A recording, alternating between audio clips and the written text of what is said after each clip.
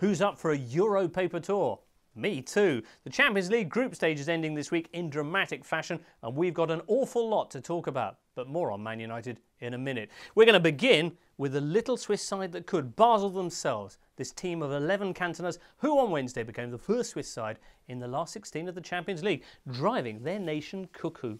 Here come the headlines. Blick, first of all. Hammer, they say, hitting the nail on the head, really. All Switzerland celebrates the miracle of Basel, says the paper. All Switzerland being, in this case, a politician, a chemist, and oh, look, the lead singer of the rock band Krokus. You know, to rock or not to be. That was them.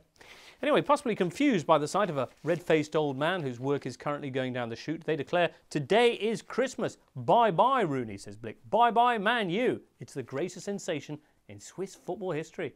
Yes, really. Other headlines Le Matin with a uh, serving of Strella and Fry there.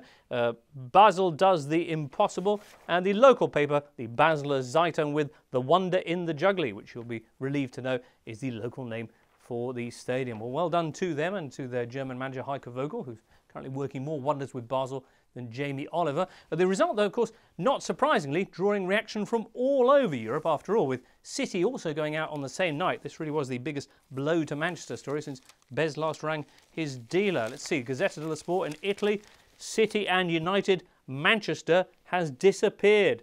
In France, Man United, it's an enormous bum note. A pretty mixed team, they sniff, has finally got what they deserve. The Spanish had to neglect the obvious Estrella Damm headlines, but uh, go with Bombazo. City and United get eliminated. Marca, meanwhile, have tears in Manchester, but it's made the Europa League a lot more exciting, or rendered completely irrelevant everything that's happened in it until now, you might think. At La Repubblica, back in Italy, the great crack of Manchester, the great collapse of Manchester, Basel were wearing the same colour shirts as Barcelona says the paper. Maybe United got scared. Well, the Italians, of course, in especially chipper mood this week after Napoli's success at Villarreal sent them through to the knockout round alongside Inter and Milan. Nap ole, as the Gazzetta hailed this achievement. Uh, Napoli moving into the last 16 in their debut Champions League campaign, of course. La Repubblica. It's Christmas in the Champions League paper making a little tribute here to the terrifically entertaining Christmas Inn comedies that Napoli owner and top B-Day advocate Aurelio De Laurentiis churns out at this time of year. Says the paper, they talk of crisis overseas, but for the eighth season in a row, three Serie A teams go through to the knockout stages. Well, enjoy it while it lasts. Now, surprising as events elsewhere in the Champions League were this week, probably the biggest miracle of all happened over in Group D. Coming into the round, you'll recall, Ajax and Lyon were rivals for second spot, with the Dutch three points clear of Lyon and with a goal difference that was seven better. Nailed on for the knockouts, you'd think except they weren't. Two wrongly disallowed goals for the Dutch against Real Madrid were followed by Lyon, who had been trailing 1 0 in Zagreb at halftime, suddenly notching up seven goals in 30 minutes, having scored just two in the previous five matches.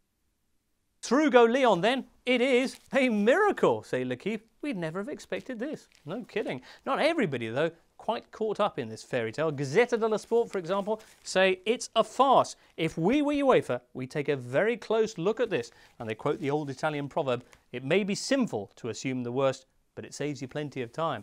Equally suspicious were the Spanish. It's almost like they have a culture of this kind of thing. AS in Madrid. This game was muddied by doubts, they say, something strange happened in the interval. While Sport over in Catalonia point out that Ajax Real Madrid had a Portuguese referee, and his errors lend weight to those who claim Mourinho's pressure on UEFA is paying off. I should have known he'd be involved.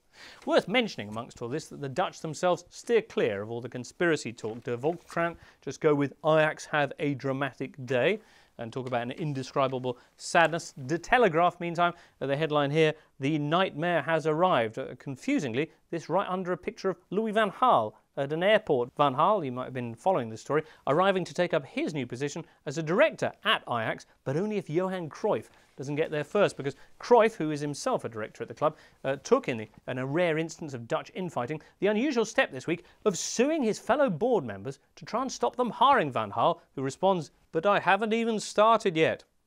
Well, to finish off, one other bit of angry people news. Gazzetta dello Sport reporting this week that Milan Tevez, the deal is done. Although the club admit underneath we haven't actually spoken to Man City yet. Milan, though, have sent a bid to City for a loan deal with an option to buy for 28 million euros come the summer, or three bags of spuds, whatever's worth more by then. So, to sum up, no deal yet, but it's warming up and should soon be on, which is ironic, really, because that's where Tevez' problems all started. Well, more on that uh, story next week, perhaps. For now, that's it for our paper roundup. Thanks very much for stopping by, and we'll see you in seven.